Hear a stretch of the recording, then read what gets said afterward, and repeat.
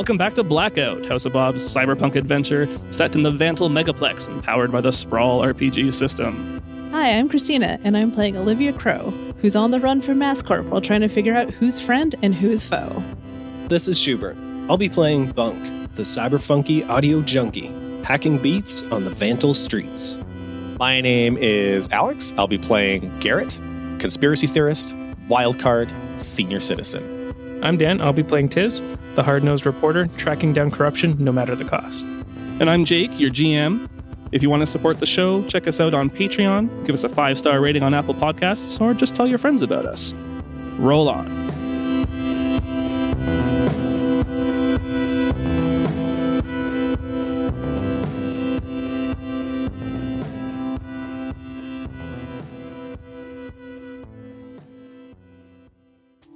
Last session, you succeeded in making it onto the Axiom Sabo. You survived the launch, disabled their sentry defense, and wrecked both satellites, throwing a serious wrench into the Axiom schemes.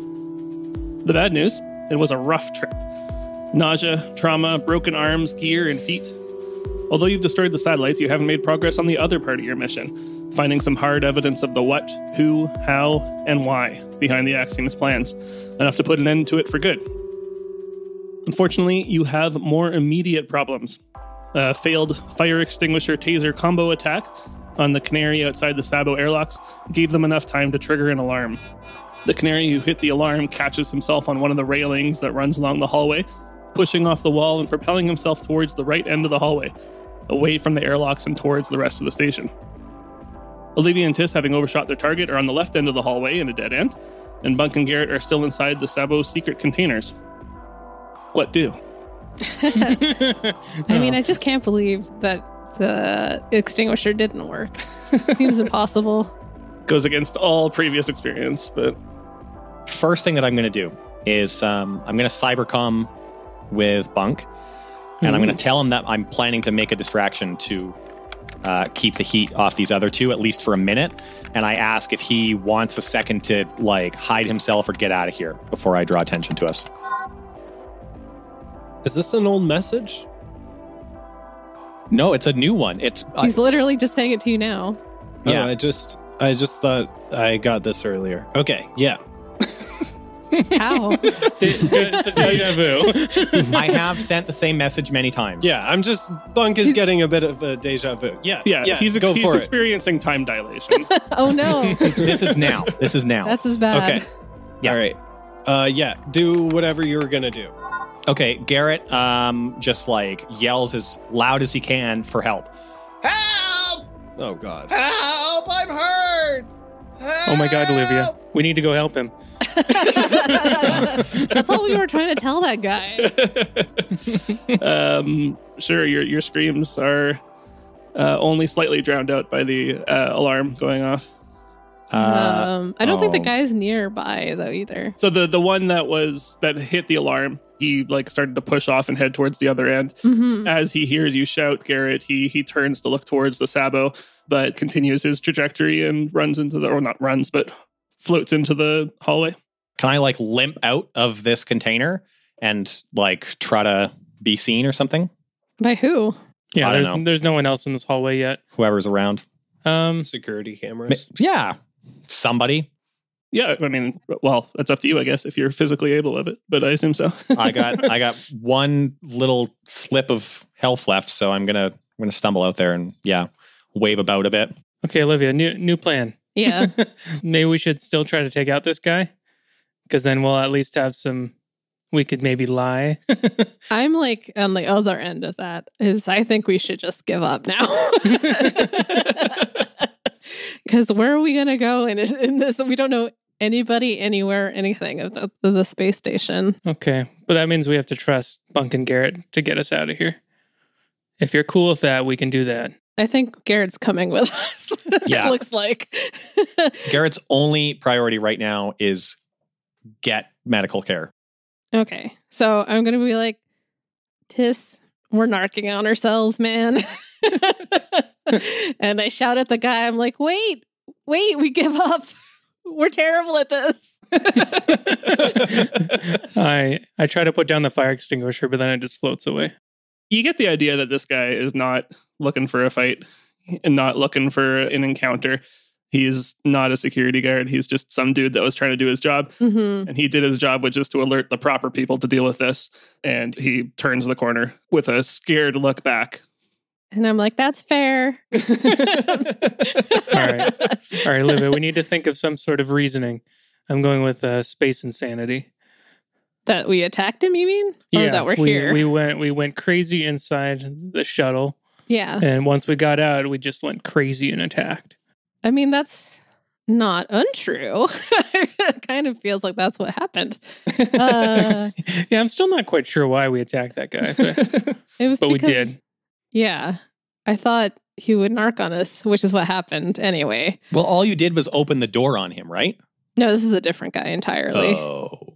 So, what I'm thinking is, yeah, space insanity sounds like a good upfront defense. we're just standing here talking while we're waiting for security to come, by the way. Yeah. You don't know how long it's going to take for them to get here. Yeah. Hopefully they're quick. Like but I think maybe we should just tell them why we came up here. And also why that would be why we're not astronauts who got space insane. I'm I'm concerned though, because the axiom has seemed to like infiltrate a bunch of different levels of this. sure, but at the same time there's also seems to be people who are anti-axiom. Your conversation is cut short as you see two figures float around the corner.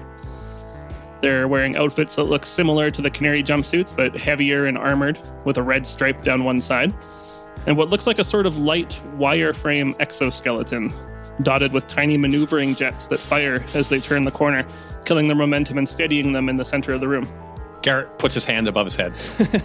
on the floor. I'm gonna, I'm gonna need one of those suits. That looks pretty cool. Hi. We give up? They're both carrying some sort of weapon. It looks like a sort of chunky pistol with a flat yeah, rectangular I just let barrel. go of the taser. yeah, they, they gesture it towards your taser and the fire extinguisher. the ultimate weapon. Yeah. and gesture for you to kind of to push it towards them. I just lightly tap it so it starts floating towards them. I'm sorry about that. he doesn't know what happened yet. The security? Yeah, they don't know. I mean, they know we have a gun. Yeah, it's just, it was ran just a taser. With another small burst from the jets, one of the guards floats towards Tiss and Olivia. The other one floats towards Garrett. as soon as the guy tries to arrest me, though, I'm going to act like he broke my arm. Be like, oh my God, police brutality. because my arm is already broken. no, I said as soon Yeah. as he does. yeah, make That's sure he I'm grabs that arm, right? yeah, Oh, you just want them to be liable for your injuries. exactly. Mm-hmm. Just yeah, tell them that you have brittle bones and you're not sure why they sent you to space. Some sort of terrible test. He, he sighs and says, We have security cameras. And they move to put your arms behind your back, and you see they have these like plastic zip straps essentially that they go to tie up with. Yeah, I mean, I don't want them to tie me because I have a broken arm, but yes. They're they're gentle, Okay. as gentle as they can be. Yeah, your your arm's bending away it shouldn't be, but I think we've said it by now, but it's probably red and swollen and looks really gross. the other guard uh, floats down to uh, Garrett and puts his hand up to uh, like a little microphone in his suit and says, "We need a med team in Bay Three right away." And then the guards start to gently push the three of you towards the station. They're towards the rest of the station. Okay. Is the rest of the station also zero G or? As far as you know, yeah. I'm just wondering if I need to prepare myself for sudden gravity. no. Bunk, are you doing anything while this is happening? Are you uh, laying low? I'm going to lay low. It sounds Yeah. like everybody's giving themselves up peacefully and the guards aren't trying to rough them up too bad. So I'm going to chill here. They seem to be respectful. They are uh, delicate with your broken arm, and they, you know, push your head down so you don't bump your head on the bulkhead. What a gentleman. Yeah, How strange. This is not an experience Olivia's ever had with authority. Chivalry isn't dead in space. it's not space dead.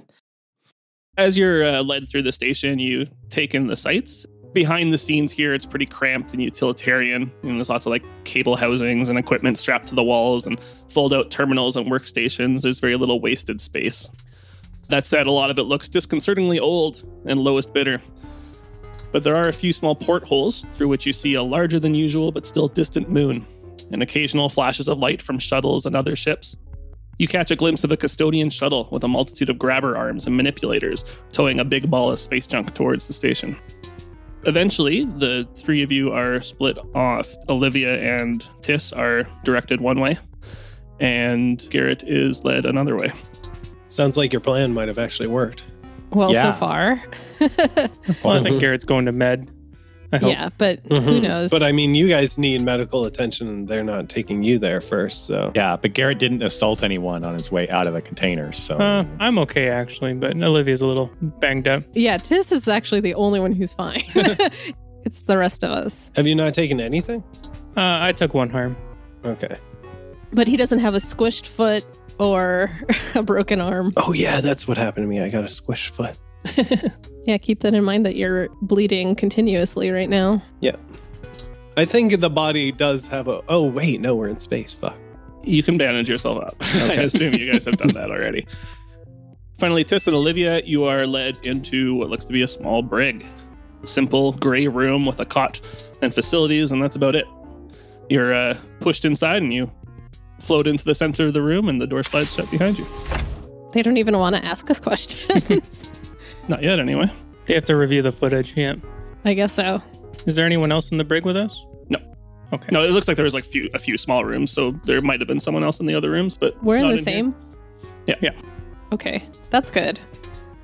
Uh, yeah, I would like to survey our surroundings. I guess. yeah again it's pretty simple there's you know just kind of a flat gray wall and a cot and bathroom facilities and the door which is now slid shut and you can see that there is a like a little uh, window slit that they can open up and that's about it Yeah, but is it one of those sci-fi jails that it's like a force field or actual bars? not not bars it's, it's just like a solid metal door Oh, okay. So there's no like we can't see out or anything. not like at the that. moment no yeah again there's a little like window thing it looks like they can open from the outside but Right. Yeah, bars are a luxury. yeah, but also if it was a force field, that would have been bad too. hmm, force field ain't cheap that's true. I don't think we're gonna break out from in here, but We ain't got nothing but time to figure that out. I mean, we could also try to figure out our, our story. I know you want to tell the truth, but I don't want to necessarily give away all of our cards. So, if you guys are doing that, then I'm going to ask Garrett and Bunk to take off their headphones for a bit. Whoa. Oh, spicy. All right. well, yeah, Olivia starts looking for seams. There's got to be some seams. This place looks junky as hell. but while I'm doing that, I assume that I'm waiting for Tiss to say something because I'm not saying anything yet. Okay, so we want to we want to mention the axiom hmm and what we're doing up here. We probably don't want to drop any names just for safety's sake. Okay. Don't want to narc on anybody, but I don't know. Um, is there a way we can can we even comms down to Earth at all? I don't think so. Isn't it? I thought our comms didn't work up here. You've discovered that you can like directly connect with each other, hmm but Yeah. there isn't a, a link to the to the network and on Earth. No. Okay. Yeah. Okay. There's just three of us, though, right? Is what Yep. I say. Yeah, just the three of us. Poor Yeah. Garrett. If only I hadn't locked that guy in the ship. Hopefully, I, I'll tell them in time before they can get him out. Do we want to mention that we smashed the satellites, or do we want to feign that uh, they are destroyed by the way we thought they were? I mean, I feel like I do want to tell them that part. See, that's part of the whole telling the truth thing. But I would like to try telling them that in order to gauge reaction, because then I think we'll find out how pro axiom they are, if you know what I mean. Okay, so maybe maybe we mention that we smash the satellites, hmm see if they have any sort of reaction to that, and then uh, if they don't seem to, then we can tell them the rest of our story. Exactly. Okay. I mean, I think they'll have a little bit of a reaction, but you know what I mean, like suspicious. Yeah, like there's levels of upset. Yeah. like one is like, oh, I'm gonna file paperwork. One's like, you've Yeah. ruined my plan. Yeah, exactly. One's annoyed with us, which we're used to, and the other one is like, Yeah, I know that face. we got to call Earth. yeah, that seems smart. Okay, we'll start with that, and we might have to do a little play it by ear, but we'll see what they ask us, I guess. Yeah, I have a feeling we'll probably be separated though, just FYI. There's very rare that they do dual uh, interrogations. Okay, well, I'm going to leave that in your hands then for how much you want to say. I'm not going to say much.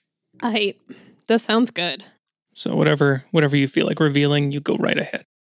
Olivia, do you want to make an actual roll out of looking around, or Which one's this one? it'd be assessed then, Edge?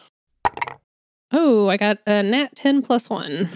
Finally, rolling a little higher this time. Okay, well, I mean, you've got those three questions. Potential complications. Notice despite an effort to conceal it. How is blank vulnerable? How can I avoid trouble here? Best way in, way out, way past. Gain advantage. Who or what is my biggest threat? Who or what is in control here? And remember, you can save them. Yes. I think I will, at the minimum, go with how is this cell vulnerable to me? because that's what I've been looking for is like some sort of uh, seam I could maybe jimmy a little bit. there would be, you know, some kind of air recycling system. You know, obviously there's no natural oxygen here. They have to pipe it through the whole uh, Right. uh, facility. So there is a like a vent in the ceiling. You know, it looks to be secure, but certainly less secure than you know just a solid metal wall. Question two, still zero G, correct? Yeah. Okay.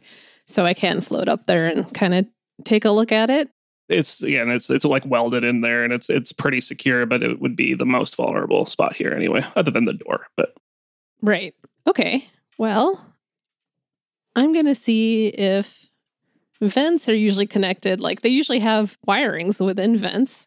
Maybe I can try to stick my fingers in there and see if I can grab anything.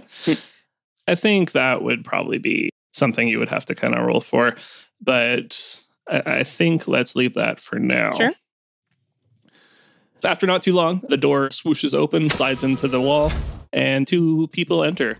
One is one of the guards that brought you in at first, and the other is a new individual, uh, middle aged man, noticeable fake tan and athletic build, muscular but compact. He wears a CANAR-E uniform with two red stripes and a name badge on a lanyard around his neck that reads Boots. well, I'm definitely hanging upside down at this point, Sure. looking at them, You got it. and I'm saying, "Hey, boss," Um, and then I he, shrug. uh, he doesn't look particularly amused by that, and the door slides closed behind them. And he says, "You've got some explaining to do, I think." mm, yes, That's that's that's a fair assessment, sir. I agree. Where would you like us to start? Right at the beginning. Um, well, we have been investigating a an organization on Earth. You may have heard of them. I don't know actually how much Earth news you guys get, but there's a church called the Axiom. And uh, yeah, it's kind of led us up to the station, in which case we've we're sort of uh, trying to stop a big plot. And I just shrug my shoulders again. You know how it is. And and who is we? He asks. I point down or up, depending on Yeah, the orientation of the ship, uh, the space station. and I point to myself, And then I'm like, and also that guy in sick bay. but he's harmless. yeah, we probably shouldn't have brought an old man. Thinking back on it now. Yeah, brittle bones. Could you possibly be a little more specific? Who are you? oh, uh, hi, Olivia. nice to meet you. Yeah, I'm Tiss. I'm a reporter. And uh, that's our good friend Garrett the Immortal in, in the sick bay right now, probably. Hopefully, yeah. but we're just a, a ragtag team of people who care about stopping the axiom. Stopping them from doing what? Well, we got a huge tip that they've been sending satellites into space via you guys, the vessel. And we wanted to stop at least one of the deliveries, which we were successful at. It was on the ship that we were on, and we kind of smashed it up, just FYI. Yeah, that's not great news. I'm responsible for that stuff. Sure. But you probably don't want to be responsible for all the lives it would have killed, too. can we gauge his reaction to hearing we smashed up his satellites or these satellites? Specifically. Yeah. Um, I, I think Olivia's uh, assessment earlier was correct that he looks annoyed. CANAR-E is responsible for the safe transport of cargo from A to B. So yeah, but it doesn't look like he's about to like call somebody right away or anything like that.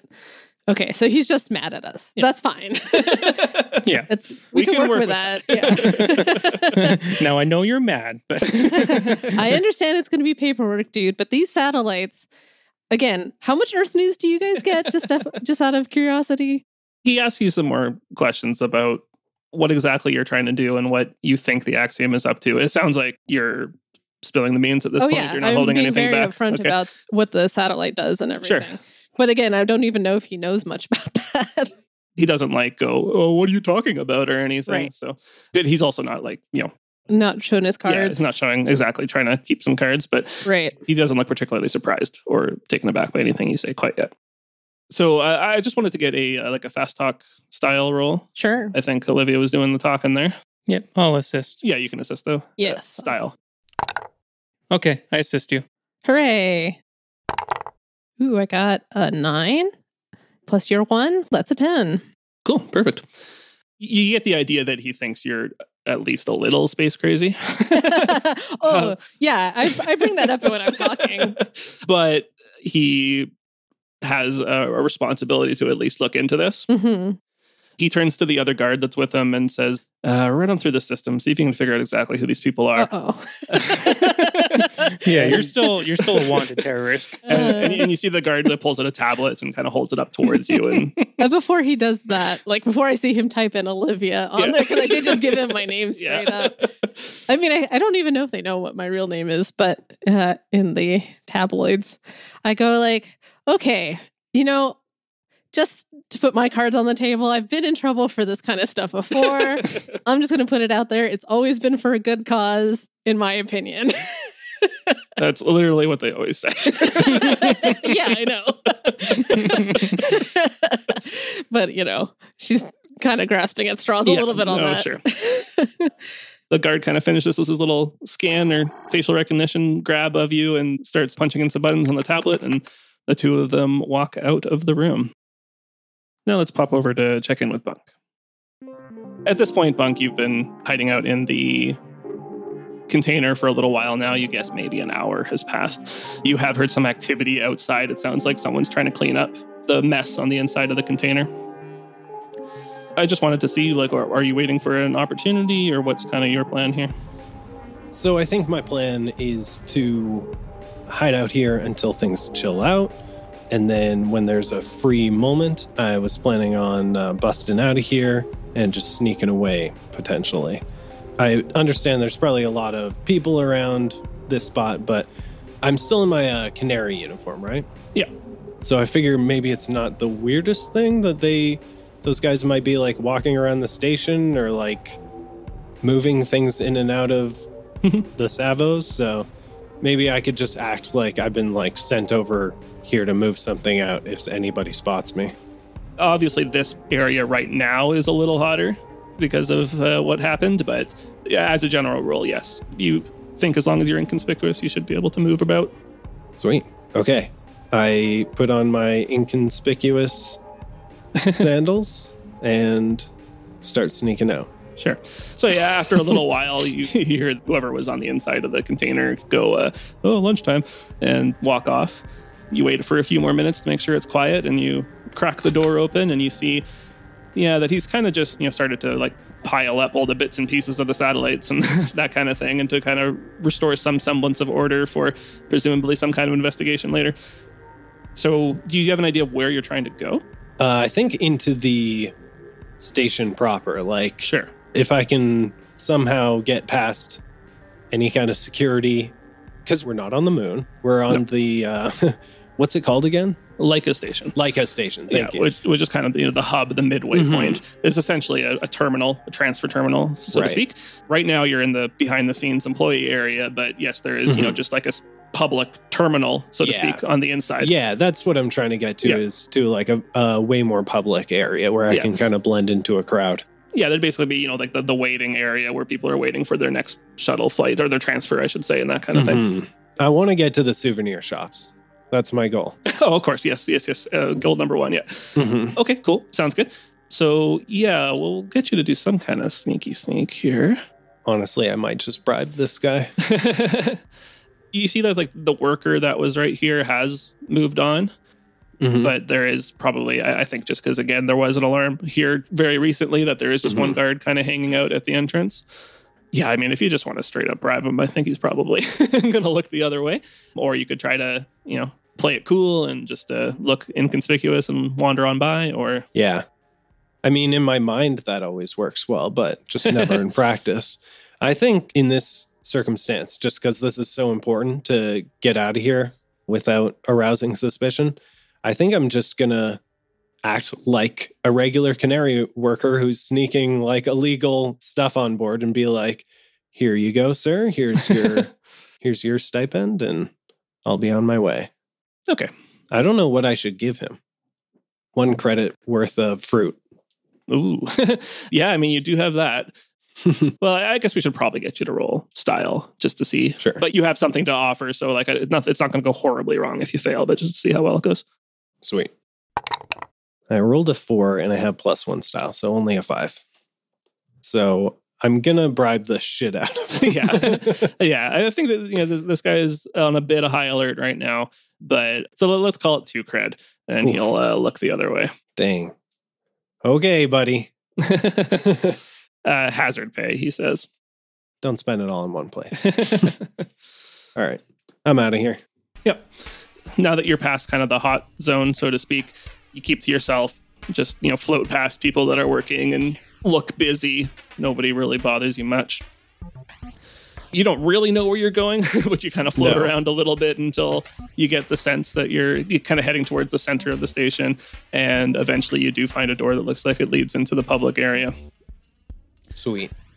You uh, slide the door open a little bit to see where you're at, and you see what basically looks like, yeah, like a big airport waiting area. You see a, a variety of people sitting in eh, medium comfortable chairs. You know, there are a few, uh, like a small food court and a you know, gift shop and that kind of thing, a duty free store. I go to the gift shop. Perfect. I am headed towards like the the stores. I, I have some things I need to purchase Okay. with my zero money. One thing you also see Mm-hmm. is the uh, baggage claim area. Mm. And you know that the bag of gear that you guys sent up would be there. Yeah. Oh, I was just thinking I could steal other other people's stuff. Yeah. you got your own stuff. You don't need to steal it. okay. That might be good. Do we have just like gear? What am I trying to say? In our gear, do we have gear? like, yeah, it was not specified, so it's, it's just like the gear card. You can say what it Okay, is. when- sweet. yeah. yeah. I was just thinking like a change of clothes to not Mm, yes, to arouse suspicion. for sure. So I'm either going to try to find our gear in the baggage claim, and if not, I'm going to try to steal some from one of the shops. like this gear drop was set up beforehand. You have a, a matching claim tag and that kind of thing. Okay, so it's not too tough. No. You maybe look a little awkward trying to play it cool, but it's just a matter of grabbing this bag off of the conveyor belt. Cool. Congratulations. You have seven gear. Seven? yeah, you guys sent up seven. oh my God. Jesus Christ. All right. I, I have a nice suit. I have, no, I'm just going to Yeah, spend so- it all on on threads. so I guess now six. yeah. No, I actually am going to have like something nice to wear so I could Sure. fit in with the rich and famous potentially. Sounds good. Uh, is Adira's mother? She went up here, right? Like she went to like a station.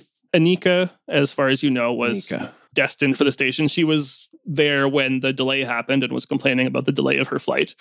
So you get the idea that she should be here somewhere. After you've changed, uh, you look through the crowd and sitting in the fancier side of the lobby, you see Anika in a sky blue sari and a bunch of like gold jewelry and a small little entourage around her. Perfect. I was hoping to spot her, and my plan is to approach her in a smooth and casual way. I think I have something on her, and I want to force her into some kind of confessional, basically. Okay. But we'll see how that goes. yeah. You start heading over there, but we're going to pop over to Garrett now. At some point, you are taken a different direction from Olivia and Tiss, and you are led off another hallway and eventually into a small med bay. And a doctor there starts pulling out equipment from various cabinets on the walls and starts getting to work on you right away. Thank goodness. And after a short amount of time passes, you can reduce your harm clock by two. Thank you. So, what does that put you at now? I'm now at 2100, so half. I'm halfway there. Perfect. The doctor is reading some charts and things like that, and then a man walks into the room. Actually, two people walk into the room. One is one of the guards that you saw originally, Okay. and the other person is a, a middle aged man, noticeable fake tan, athletic build, muscular but compact. He wears a CANAR-E uniform with two red stripes and a name badge on a lanyard around his neck that reads Boots. Boots. And he says, uh, Who are you? Why are you on my station? Before I answer, am I able to like test to see if I have any sort of like local connection with the other three over comms? Is there a dial tone? Yeah, why don't you roll uh, mine? Seven. Not in this moment. I think like Okay. you can tell that there isn't the same network, same frequencies that you would usually connect to here. So it would Okay. probably need a little rejiggering. You'd have to sync up again, so to speak, right? Right. Hit the Bluetooth button on both uh, devices. Yeah. So right now, no. But once you guys get back together, you can probably figure Okay. out something out. Again, before I answer him, I have an intel that is Mhm. left over from Detective Wilson. Yeah. So some sort of information he gave us about this mission that was coming up. And if I can, what I'd like to use this intel for is to know that Wilson had told us that there's like an identifier that Axiom people who have like infiltrated this organization use to like, you know, identify each other. Maybe like um Okay. they like rip the stitches out of like a certain sleeve or they like, you know, keep a you know, a black card in their back pocket or something like you know, something they they would Sure. identify with each other. Is that a reasonable use of an intel card? Uh, yeah, I think we could do that. Okay. And then I would like to quickly scan around the room and see if any of these people here, like Boots or the doctors or whatever, Mhm. like any of them have this identifier. Sounds good. Well, we'll get you to roll assess. That's a nine plus one, 10. Yeah, I, I like the idea that, like I think you said, like a black card or something like that. So it's something that they put on their name badge that uh, would signify them as a Axiom member. Yeah, that regular folks might not notice if they Yeah. weren't looking for it. Yeah, doctors in the clear, boots in the clear. Okay. The security guard that brought you in, not in the clear. Oh, shit. Um, okay. One of the three other people in this room are suspect. shit. Okay, so he's asked me why I'm here. I'm going to pull the senile old man act. I'm gonna say that I like I can't remember how I got here and that my head hurts and I feel nauseous. Um, which you know maybe I have a concussion, right? That seems Yeah. reasonable. Sure. So you can roll a style then. Seven. Boots starts listing off uh, this you know list of questions, and the doctor's like, "Oh, he's he's still recovering. Take it slow." But Boots seems you get the sense that he's a little tired of bullshit at the moment, Uh huh. and you think maybe your ruse has worked, but he just doesn't really care that much. Okay. and so he's continuing to ask you questions and expecting answers, but you know, it sounds like you're not giving him anything. Can I tell him that I'm willing to answer some questions if it's just me and him in the room? If everyone else leaves. You can tell him that. He motions to the doctor to leave, but he keeps his security guard with him. And I say no, like just you and me. tells the guard to run you through the system first. And you see he has like a little tablet that he kind of does a little scan of you and then uh, starts typing on the keypad, but then steps outside. The door closes behind him and it's just you and Boots. Okay. I uh, like motion for him to get really close to me so I can like whisper in his ear. He shakes his head and says, We can talk from here. That's fine. Okay. And I ask, have you heard of the passing angel axiom? More today than usual, yes. And I tell him that I and at least one of the passengers with me um, have been tasked with taking down a passing angel infiltration on this station. And that the lives of millions of people are in danger. He seems to ponder this for a little bit, but doesn't really give you much. It seems like he's just internalizing it. I tell him about the black card Okay. that the security guard has. I think he would say, um, it sounds like there's some more that we need to talk about. Why don't you come with me? And I tell him I'm happy to tell him more as long as he can guarantee my safety. He kind of shrugs and says, You seem to know more about what's going on than I do, so I'm going to do my best. But All right. That's good enough. he uh, leads you back into the hallway and down a variety of hallways until you recognize that you're in sort of like a brig area. And there's a few small rooms here. Let's head over to Tiss and Olivia. You see the door open to the brig, and you see Boots, the guy who was questioning you before Mm-hmm. and he gently pushes Garrett into the room with you. How's Garrett look? Better, actually. Much better. It looks like he's been patched up. That's great. I go, hey, how's it going? Yeah. Hey, Garrett. How you, how you feeling? Gar- Garrett gives you, a, you know, a bit of a shrug and a nod. You know. Right. Doing great then, I guess. Yeah. And the shrug and the nod is followed by a shout and a discharge of a weapon. Whoa. As you see, uh, it looks like a little thick disc that is flying through the air towards Boots. And at the last moment, it sort of bursts open and kind of like the electrical net that Olivia used before opens up.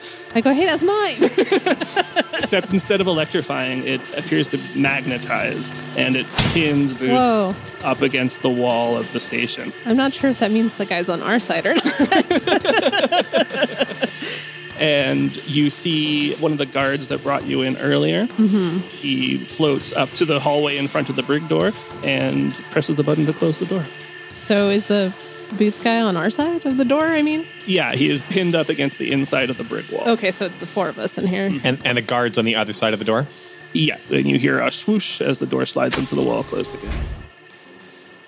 And so I turn to the guy, Boots. I say, see, it's not just space madness. I tell him I told you so. Now's not the time, Garrett. Well, kind of. If not now, then when? yeah, exactly. if I can't gloat before I die, then You may not make it. So, I mean, that's going to be on his tombstone. I told you so. See you in two weeks.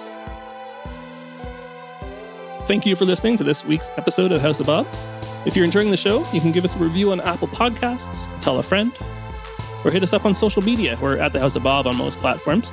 All our videos are also up on YouTube if you prefer to listen that way. You can also talk to us at our Discord server, and there's a bunch of fans that like to chat there too. It's a good little community. All the links to our social media and other websites are in the show notes. If you'd like to support the show financially, check out our Patreon. There's 35 hours of bonus content, including a monthly bonus recording, like director's commentary and one shots. There's also some RPG zines and a monthly blog post of role playing game content. Thanks to our existing Patreon sponsors, that's Blucket 12, Christine Braille, Elias Anderson, Jessica, Jessica Colvin, Josh Jordan, Keith Haddad, Kieran Duffy, Luke Conroy, Mark Boykin, Mary Margaret, Pavel Lashin, Ray Kearney, Scooter Emerson, Mike, Tom Inns, Tom Wesley, Tyler Kay, and Volt. Artwork for this episode was by Jake at Javocs. Audio production was by Alex of Astronomic Audio. And the music was by John Julius, licensed under Creative Commons by attribution. Thanks very much for listening. Have a great day. Roll on. Stay funky. Cyber Junkie.